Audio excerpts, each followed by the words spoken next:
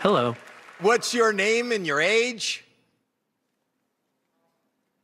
My name is Ahren Belisle, and I'm 28 years old. Okay. And what is your talent? Well, I can't dance. So I'm gonna do stand up comedy. Oh, wonderful. How long have you been doing this? I did my first open mic about a year ago. What got you into comedy? Last winter, I ended up in Portugal. I ended up going to a comedy show there and making all the comics laugh, and they convinced me to try it. Wow. So comedy generally is about timing. How? Uh, what is your process? Please hold while the operator types his response. to do my comedy, I use a text to speech app. Interestingly enough, the silence while I type just builds tension during a set, and I think people enjoy watching me laugh at my own joke that I'm writing. you should also know that if you heckle me, my service dog is trained to go for the vocal cords. Um, can I ask, do you have a day job?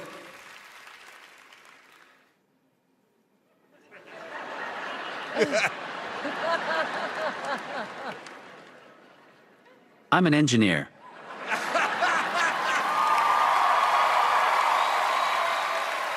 So, young man, the stage is yours. Best of luck.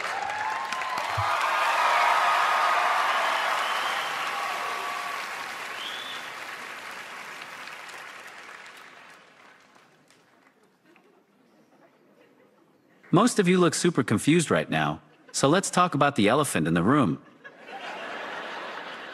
I know what you're all thinking. Who ordered Stephen Hawking off of Wish.com?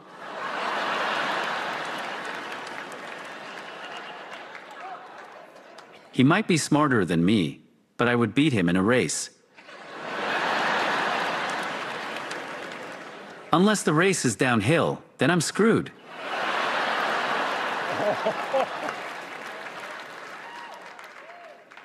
We also have different conditions. He had amyotrophic lateral sclerosis, and I am Canadian.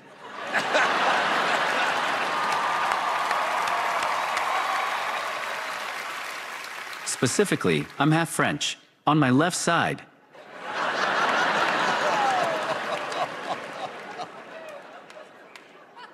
I also have a brain muscle disability called cerebral palsy, but being French is way worse than a brain disability. Wow. I used to have the word handicapped in my social media bio, and then some random white lady messaged me telling me I need to change it to disabled. Oh. You can't say that word anymore. It is offensive to disabled people. Hmm, I don't think it's offensive. Last time I checked, I was pretty disabled. Well, you don't get to decide what is offensive or not to disabled people. Who the hell does then? Some two legged white woman on Facebook who is probably commenting on her phone from a handicapped bathroom stall.